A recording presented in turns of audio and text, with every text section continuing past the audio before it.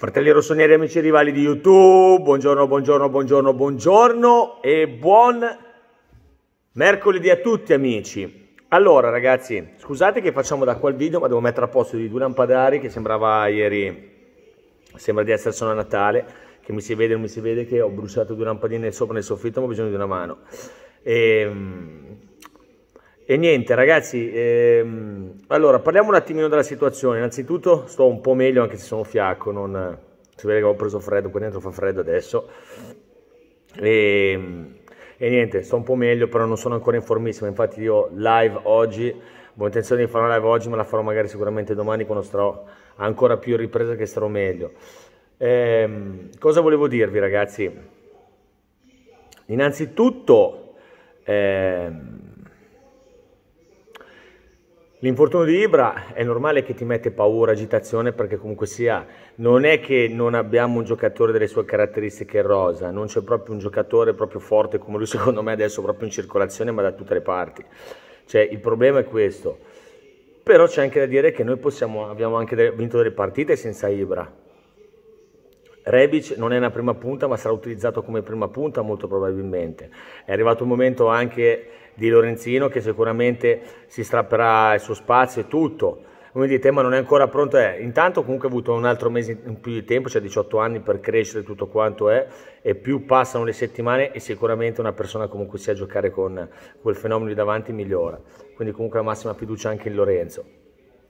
Sicuramente adesso no, la sfortuna è, è, che ci abbiamo ancora fuori Leao. Questa è stata la cosa che eh, la, la la nostra sfortuna che purtroppo Leao eh, si è fatto male nel momento proprio più, più, sbagliato, diciamo, perché si è fatto contemporaneamente male anche Ibra. Però adesso non mi ricordo quant, quant'è il tempo di recupero che ci deve mettere Leao, però sicuramente non erano tempi lunghissimi. Vediamo un attimino. Ibra sicuro, da quello che si è capito, salterà le tre partite di Europa League ed è questa una brutta tegola, secondo me, perché lì eh, L'Europa League si sa che adesso ormai noi abbiamo la testa sul campionato e tutto, ma l'Europa League ragazzi bisogna, bisogna, andare avanti per forza. Domani poi parleremo oggi pomeriggio della partita contro Lilla. E, è, un, eh, è, un, è, un, passo che noi assolutamente noi dobbiamo, dobbiamo passare questo girone qua nella maniera più assoluta. Abbiamo tutte le carte in regola per farlo ovviamente. Eh, l'infortunio di Libra non deve assolutamente per nessun motivo essere una scusante. È vero, adesso abbiamo la coperta, se prima era corta, ma è cortissima perché poi si è fatto male Leo, adesso anche Ibra. Vedremo veramente Aughe di che paste fate, sono molto curioso di vederlo.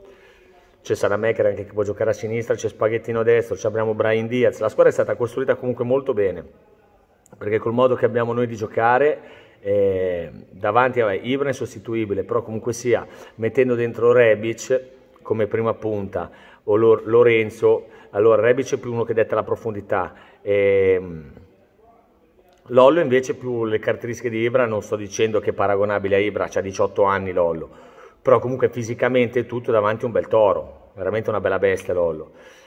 Vediamo un pochettino cosa, come scenderemo giù in campo domani, adesso ehm, se già si stava già iniziando a parlare di mercato, prenderesti Balottelli, molti parlano di Cardi, iniziamo a pensare adesso sinceramente a queste partite qua che è la cosa fondamentale. Poi eh, abbiamo tutto il tempo per parlare di mercato. Comunque magari oggi farò un video che vi direi, vi dico la mia un attimino su, su Balottelli, su, sui Cardi e compagnia bella.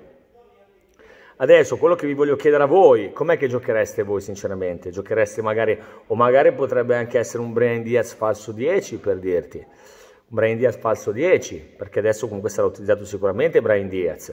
Eh, Cialanoglu grazie a Dio si è ripreso, sta bene, Leao rientrerà, comunque Ibra salta sicuro le tre partite di Europa League, salta sicuramente a Bella Fiorentina, la Sampdoria si dovrebbe rivedere contro il Parma, che Parma è una squadra molto tosta. Eh, quindi salterà queste due partite qua e niente, peccato, peccato perché eh, insomma il suo infortunio arriva in un momento veramente magico per lui, 6 gol in 10 partite, statisticamente addirittura tre doppiette negli scontri diretti perché dice che segnava soltanto le piccole, però se andiamo a vedere, andiamo a vedere Ibra, cioè, ehm, se ben vi ricordate, vi ricordate che un tempo addirittura lui... Eh, era, era, criticato perché non segnava mai né in Champions League né, né negli scontri diretti. Beh, all'età di 39 anni forse Gattuso c'ha ragione a dire, a me sembra più forte di, di, di 10 anni fa, perché comunque 6 gol contro Roma, Inter, e Napoli, eh, ragazzi, questi qua sono veramente numeri, dei numeri allucinanti per uno di 39 anni. Trascinatore assoluto, in questo momento è il miglior attaccante del mondo, punto. Con le sue caratteristiche non ce n'è neanche mezzo.